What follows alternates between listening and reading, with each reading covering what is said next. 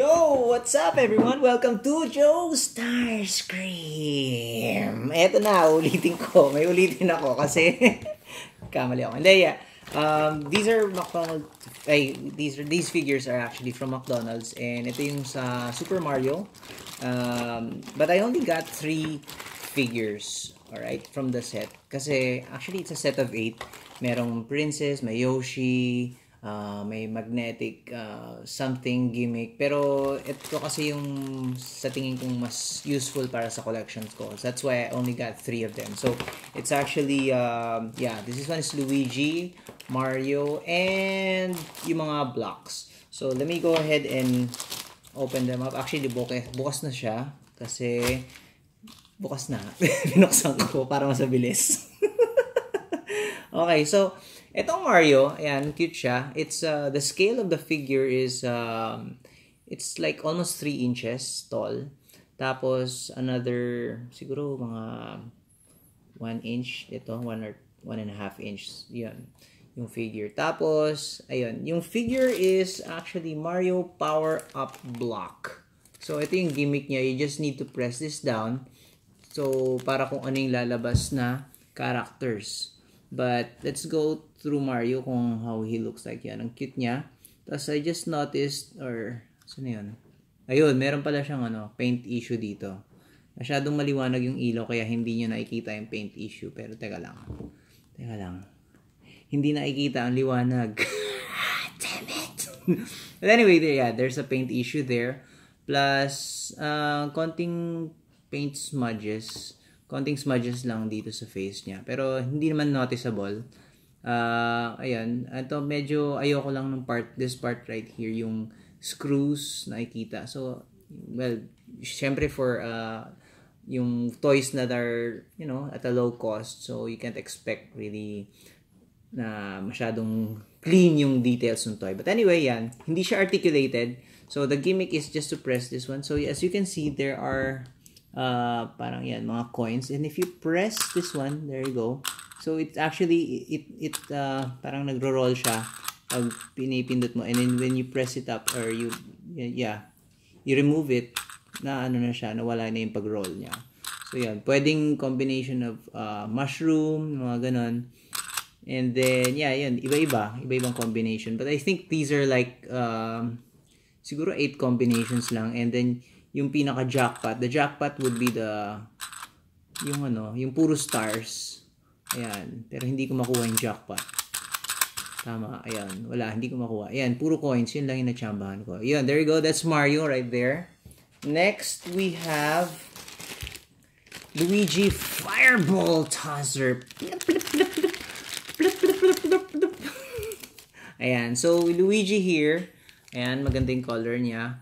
Um, of course, yung may firepower na siya. Tapos, yun yun. Yung, yung gimmick niya is dito toss niya yung nandito sa loob. I'll remove it. Wait lang. Ayan. So, meron siyang Goomba na kasama. Ito, these are paper lang ah. Paper lang. Tapos ito, yung medyo transparent na mayroong paper sa loob. And back to back siya. It's a fireball. Nice. I like it. I like the details. Um, ayan, si Goomba at saka si... Um, I forgot the name of this character. little, little, ano, little kupa. Ayun. So, ito lang siya. Ganun lang siya kadali. Yung, yung hand niya, yun yung gimmick. So, ibabal, iaangat mo lang siya para maipatong mo yung hand. Yun yung, yung fire effect. So, ah! I'm gonna put it here. Ay, by the way, let me check. For the paint, wala akong nakitang paint issue. Uh, the figure is 3 inches tall. Yeah. No paint issues. Maganda siya. Maganda yung quality ng nakuha kong toy. Uh, ano pa ba? May nabasa dito sa ilalim. For McDonald's. Yeah, basically that's it. Made in China. Ayun. So, yun. Lalagay natin dito ulit. So, nice. Tapos, well, obviously, the reason why it's here is so that yung papatayo mo. But I don't wanna bend this one. I don't wanna bend this paper sa safe. Sige, sige na nga. Ah! Why did I do that? Let me try if I can hit you guys. Let's see.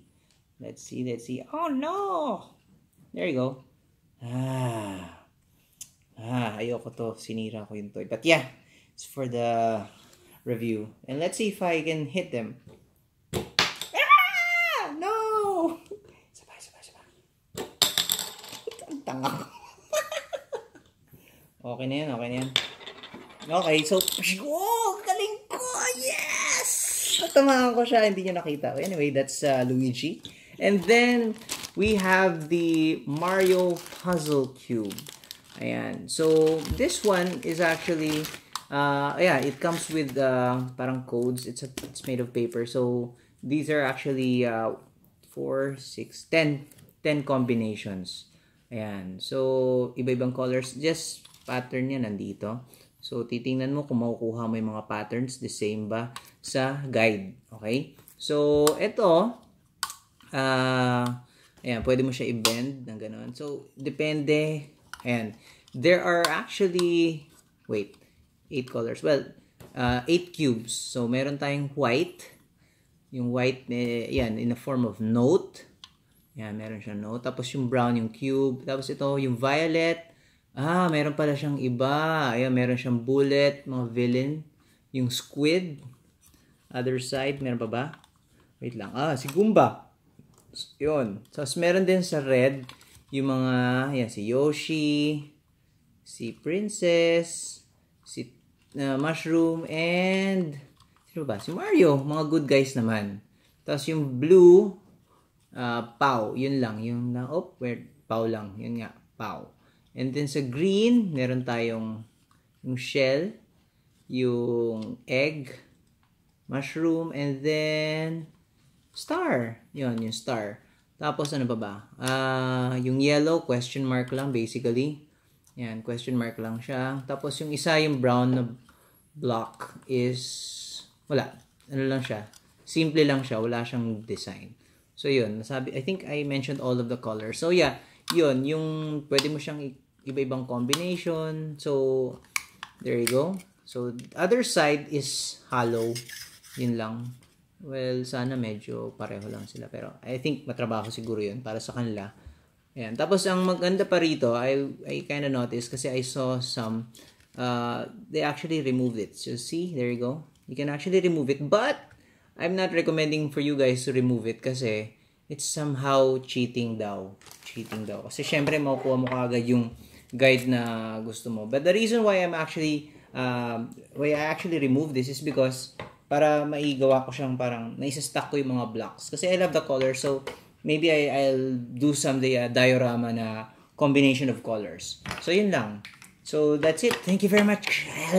Nabulol ako. Thank you very much guys for watching. Ciao!